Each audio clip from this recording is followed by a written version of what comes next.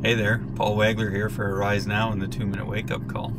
Well, I'm sitting in the milk truck this morning, uh, which is something that I drive uh, one weekend a month. And one of the things that I love about driving the milk truck when the weather's nice is that I ride my bike. It's 20 kilometers to New Hamburg where the uh, milk truck is parked. And I always figure if I have to get from point A to point B and I can ride my bike to do it, well, then that's a huge bonus. So this morning when I got up, I, I checked the weather and it looked good. The temperature was good and uh, there wasn't any rain in the forecast. And then I set off on my journey and wouldn't you know it, it starts to rain. Well, I didn't get real super wet. It didn't rain that hard, but I did get wet.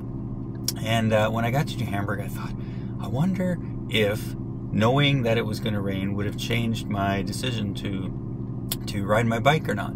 And it made me think of some other things in my life where once we've started into something or set off on a new journey or a new adventure in life, and things really didn't go quite as we had planned, or there were some surprises along the way. And I know at times we said, wow, if we would have known everything that was going to happen or all the hard work that there was going to be involved in this, we would have never started into this.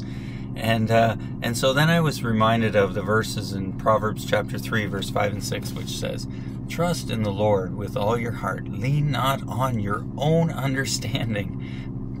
In all your ways, acknowledge Him, and He will direct your paths." Wow, you know sometimes um, obeying God is is risky. Uh, God asks us to do some things sometimes that are, excuse me. Well, that was a good sandwich. Uh, God asks us to do some things sometimes that uh, just don't make sense to our own understanding. And so that's where we just need to lean on His understanding because His understanding is always better than ours. He sees the big picture, we don't.